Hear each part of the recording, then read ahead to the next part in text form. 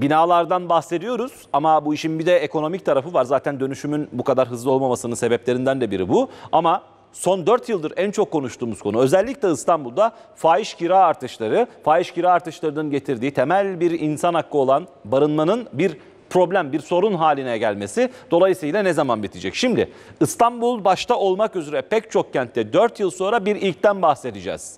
Bir düşüş var. Ama dikkatinizi çekiyoruz. Düşüş kira düşüşü değil.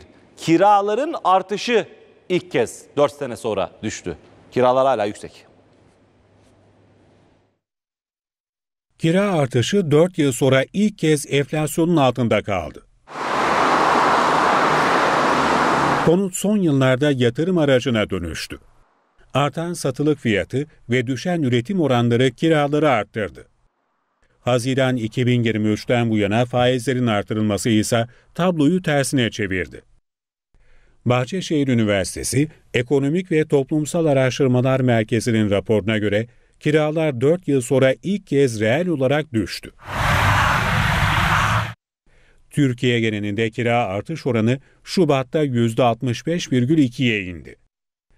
Aynı ay yıllık enflasyon %67,07 olarak gerçekleşti. Yani konut kiralarındaki artış enflasyonun altında kaldı. Geçen ay kiralar İstanbul'da reel olarak %4,9 gerilerken, Ankara'da reel olarak %29,7, İzmir'de ise %13,2 arttı. Ülke genelinde kiralık konut metrekare fiyatı 143 lira 50 kuruş oldu. Bu rakam İstanbul'da 185 lira 70 kuruş, Ankara'da 131 lira 6 kuruş ve İzmir'de 160 lira olarak belirlendi. Yani Türkiye'de 100 metrekarelik bir evin kirası ortalama 14.350 lira. İstanbul'da 18.700, Ankara'da 13.160, İzmir'de ise 16.000 lira civarında. Öte yandan yıllık kira artışının en yüksek olduğu in %185,5'te Diyarbakır oldu. Onu %184,5'te depremin vurduğu Kahramanmaraş izledi.